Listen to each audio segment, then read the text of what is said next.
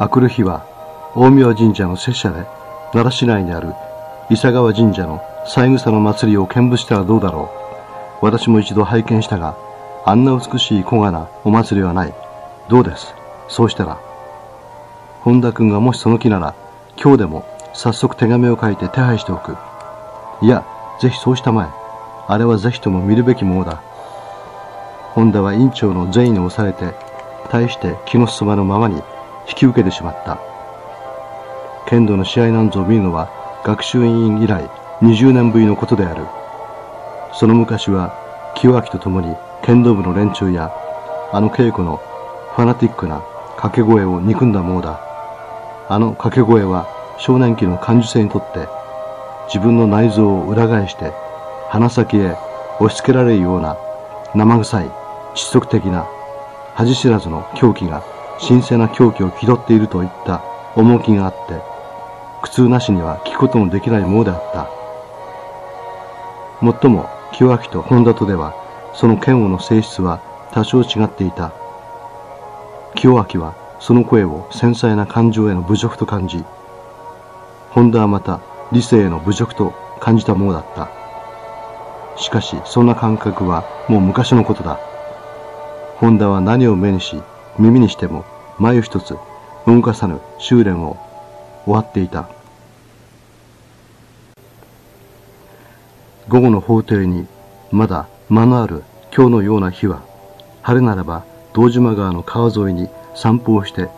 橋家に引かれて白い水しぶきのはがみをしている材木を眺める楽しみもあるが雨では仕方がない。半日もざわついていて落ち着かない。本田は村上と別れると正面玄関の不入りの花崗岩を磨き立てた列中へ青と白でオリーブの木を描いたステンドグラスから漏れる蒼白な光が廊下を貫いてほのかな繁栄を宿しているあたりにしばらく佇んでから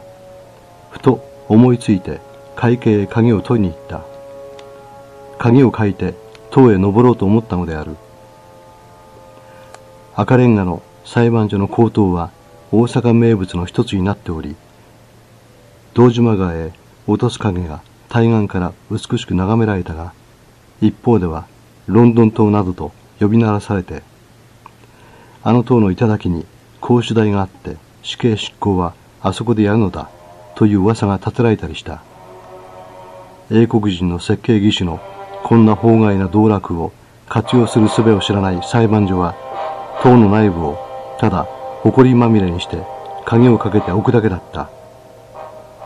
時折裁判官が気晴らしにそこへ登り、よく晴れた日には淡路島まで見える広大な展望を楽しんだ。鍵を開けて入ると白っぽい野放図もない空間が立ちふさがった。ちょうど玄関ロビーの天井にあたる部分に塔の規定があり、そこから絶頂までは吹き抜けになっている。C の白壁は甘じみと埃に汚れ、窓は絶頂の紙幣にだけあって、その窓の内側に沿うて、狭いバルコンが取り付けられ、バルコンに至る鉄の階段は屈折しつつ、ツタのように壁を張って登ってゆく。本田は階段の手すりに触れたが最後、指が渦高い埃に染まってしまうのを知っていた。雨の人は言いながら、絶頂の窓窓から落ちる光は、この大きな塔の内部の空間に不機嫌な夜明けほどの明るみを与えていた。何もない長大な壁面といい、途方もない階段といい、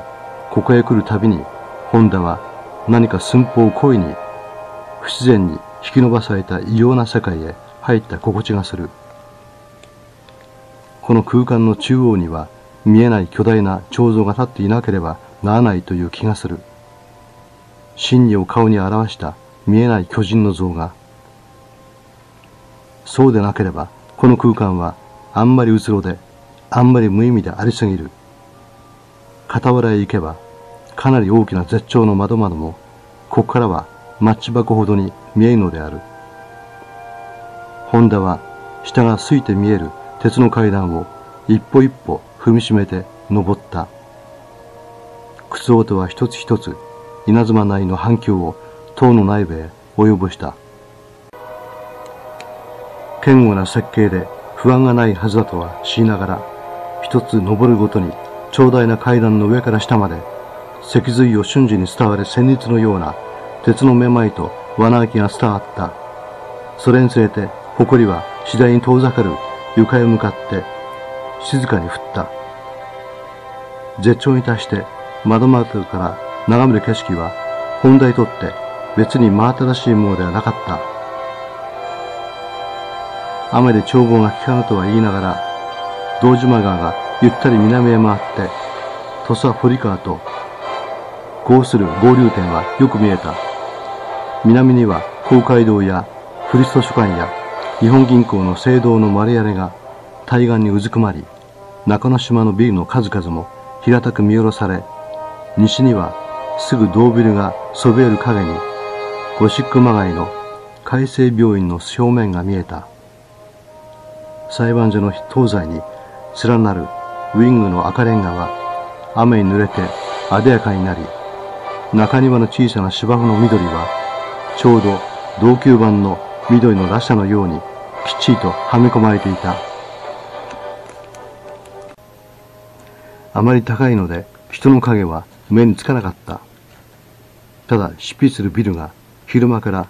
火を灯して無抵抗に雨に濡れていた。自然の例外のない冷ややかな医者に身を委ねていた。本田は思った。俺は高みにいる。目のくらむほどの高みにいる。しかも権力や筋力によって高みにいるのではなく、国家理性を代表するばかりに、まるで鉄骨だけの建築のような論理的な高みにいるのだ。ここへ来ると彼はマホガニーの砲弾にいる時よりもさらに新たかに自分が裁判官というものの長官的な目を我が物にしているのを感じた。ここから見れば、地上の諸々の事象も、過去の事象も、雨に濡れた一枚の地図に見えた。理性にも子供らしさがあるとすれば、一切を長官するという、このことほど理性にふさわしい遊戯はなかっただろう。下ではあらゆることが起こっていた。大蔵大臣が射殺され、総理大臣も射殺され、